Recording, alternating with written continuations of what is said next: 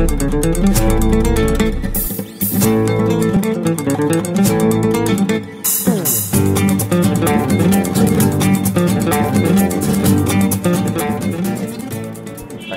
সাথে তো সেই ও যখন ওকে যখন প্রথম দেখি আসলে অনেক ছাত্র থাকে আমাদের। আমরা ফার্স্ট ইয়ারে চারুকলায় তখন সম্ভবত পঞ্চান্ন ষাটজন ছাত্র তখন থেকে আছে। নাজিব তারিখকে সম্ভবত সেকেন্ড ইয়ারে পেয়েছি, আমি ফার্স্ট ইয়ারে পাইনি। আমি যখন ঢুকি তখন সেকেন্ড ইয়ারে পড়ে। সুতরাং তখন সম্ভবত একশো কুড়ি জন ছাত্র ফার্স্ট ইয়ার সেকেন্ড ইয়ার নিয়ে একশো কুড়ি জন ছাত্রের আমি হয়তো হার্ডলি দশ বারো জনের চেহারা বা নাম মনে আছে, তার মধ্যে নাজিব তারিখের নাম মনে আছে। সুতরাং ক্লাসে কাজ হয়তো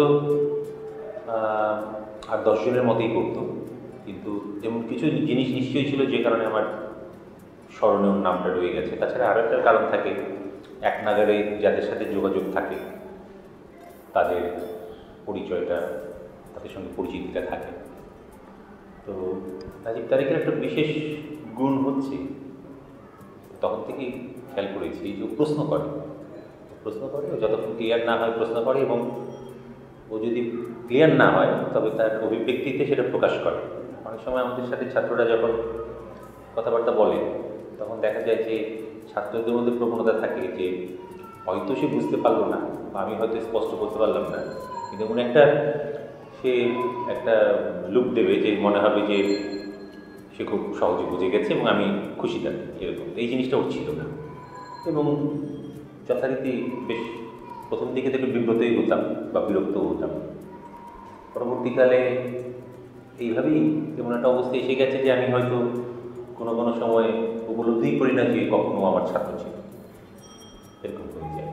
কারণ ওই ওই বললাম যেটা যে সে প্রশ্ন করে এবং সন্তুষ্ট না হলে সেটা সে অভিব্যক্তিতে প্রকাশ করে।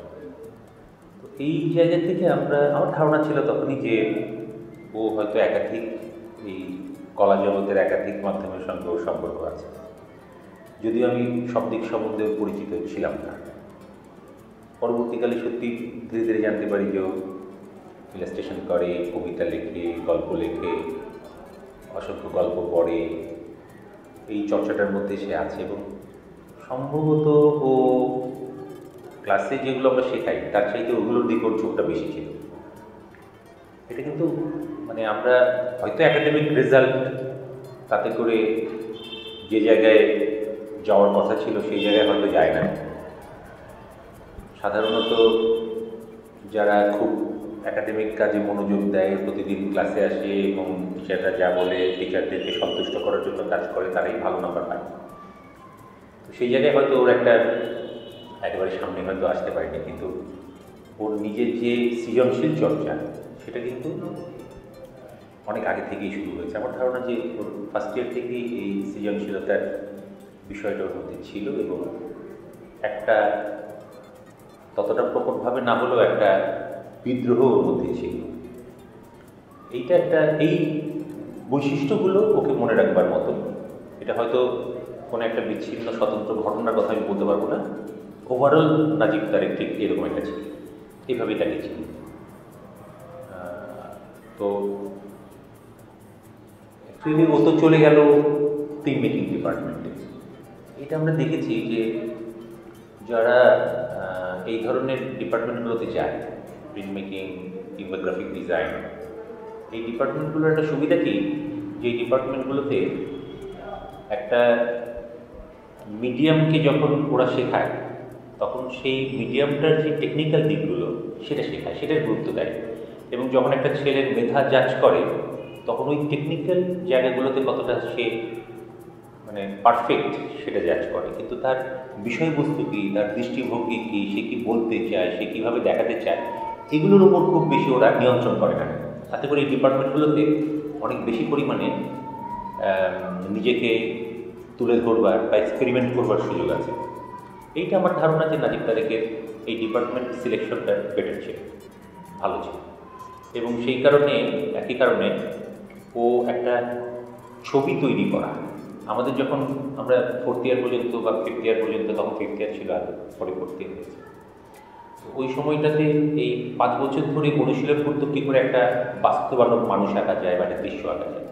কিন্তু কী করে একটা ছবি হতে পারে, এই বিষয়গুলো হয় না তো নাজির তারিখের সম্ভবত ওই যে পাবলিকেশনের সঙ্গে পাবলিকেশন রিলেটেড ইলাস্ট্রেশন বা ছবি আঁকা সঙ্গে সম্পর্ক ছিল বলে এই পিকচার মেকিংয়ের জায়গাটা, একটা ছবি কী করে হবে, তার ছবিত্বর গুণগুলো কোথায় হবে?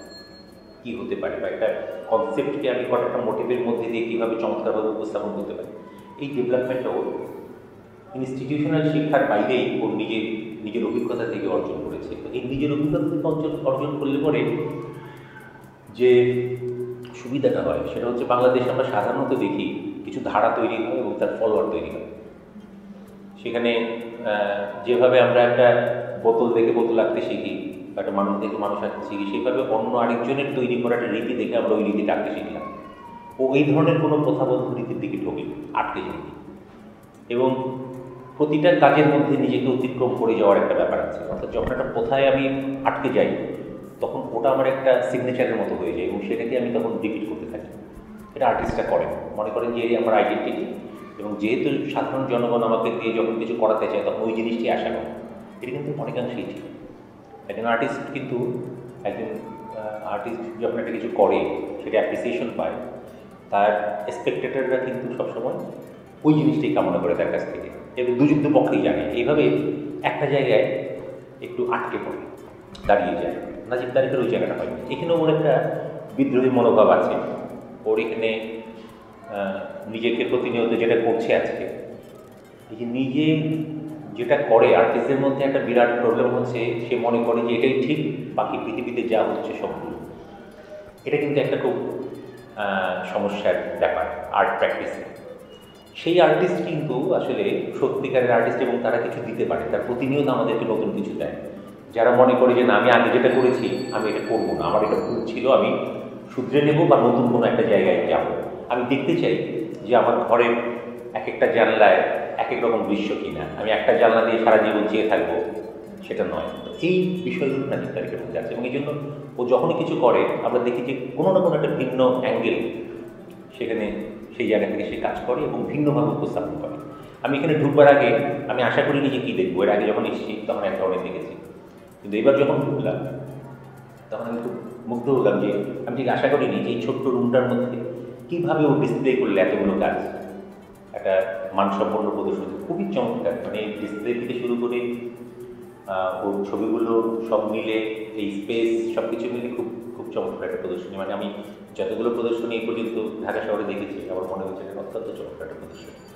এবং একটা মাত্র কথা আর্ট মেক্স আস হিউম্যান এই একটা মাত্র কথা কত ধরনের মোটিভের সাথে, কত ধরনের কম্পোজিশনের সাথে যেতে পারে? আমার কোনোটা দেখেই ইরিলিভেন্ট মনে হয়নি। এটা কিন্তু বিরাট ব্যাপার। যে আমরা একটা এই ধরনের একটা কথা দিয়ে একটা পোস্টার করতে গেলে বা কিছু করতে গেলে আমরা হিমশিম খাই। কিন্তু এখানে অসংখ্য জিনিসও নিয়ে এসছে এবং প্রতিটা পোস্টারের মধ্যে বা প্রতিটা ছবির মধ্যে বা প্রতিটা মোটিভ মোটিভগুলোর সাথে খুব চমৎকারভাবে গেছে যেন এটার জন্যই এই বক্তব্যটা উপযুক্ত এটি কিন্তু একটা মানে বড় শিল্পীর একটা গুণ এইভাবে সে জিনিসটাকে উপস্থাপন করতে পারে। আমার মানে ঢুকে বুঝতে পারছি যেটা নাজিব তারিখের পুরো প্রদর্শনীটা। কিন্তু একক প্রদর্শনীতে যে এক ঘেয়েমির সুযোগ থাকে, সেটা একেবারেই নেই। এবং অসংখ্য বহু রকম, কতভাবে উপস্থাপন করা যেতে পারে, এটা আমি নিজে আগে কখনো ভাবিনি, প্রথম ভাবলাম। সব মিলে আমার কাছে খুব চমৎকার লাগে